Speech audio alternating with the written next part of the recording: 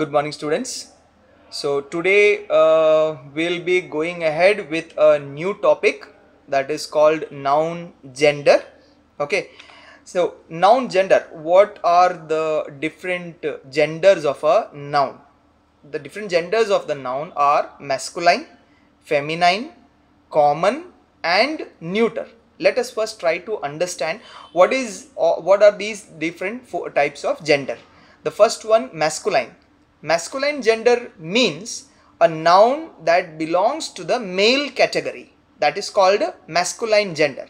It can be a boy, it can be man, it can be uncle, tiger, bull, etc. All these belong to the male category and that is why they are called of masculine gender. The next one is feminine gender. The feminine gender are those nouns which belong to the female category. We can call for example woman, mother, aunt, tigress, cow, etc. All these belong to the female category and that is why the gender of all these nouns are feminine. Now the next one is common gender. Common gender means nouns that belong to male as well as female. For example, doctor. Doctor can be a male, can also be a female. Cousin. Cousin can be a male or female. Student can be a male or female. Teacher can be a male or female. So, noun that can be a male or female, they are called to be of common gender.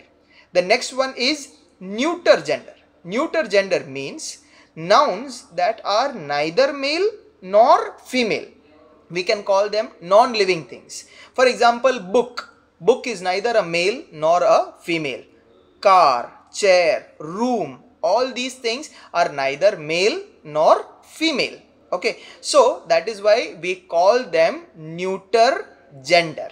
Okay, now next one next we need to understand is that we can change the noun from masculine to feminine okay we can change from masculine to feminine in the same way from feminine to masculine but we need to follow some guidelines or we need to follow some systems or rules to change certain nouns from masculine to feminine.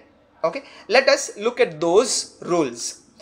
First uh, nouns there are some nouns which when added by ESS, if ESS is added to the end of those masculine nouns, they will change into feminine.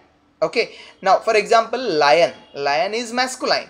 When we add ESS, it becomes lioness. That is a feminine. Tiger, tigress, ESS. So that is why there is a, it becomes masculine to feminine. Giant is a masculine giantess is a feminine so we added ess host is a masculine add ess it becomes hostess that is feminine god is masculine so goddess you add ess and it becomes feminine. So we need to also see that there are certain changes in spellings also that we need to make. For example tiger tigress. So er goes to re god goddess that is a single d becomes double d. So there are certain changes that we need to make to the spellings while we are using this rule while to change it from masculine to feminine. Okay? Now next one. There are certain nouns which do not have any rules or do not have any guidelines for changing. They change randomly or there is a totally different type of change that happens. For example boy masculine. Girl feminine. Son masculine. Daughter feminine. Drake masculine. Duck feminine. Horse masculine. Mare feminine. Nephew masculine knees is a feminine. So you see there are no rules for changing from masculine to feminine. Okay then now we come to the last type of change. That is there are uh, the changes takes place. That is a change the common noun. There is a common word that remains constant. And the word afterward it changes from masculine to feminine. For example look at the first one. Headmaster okay so head remains common. Master changes to mistress. So head master, head mistress. So masculine to feminine. Policeman so police is a common word there. Man changes to woman. So policeman changes to police woman. Masculine to feminine. Grandson grand remains common and son changes to daughter. So grandson becomes granddaughter.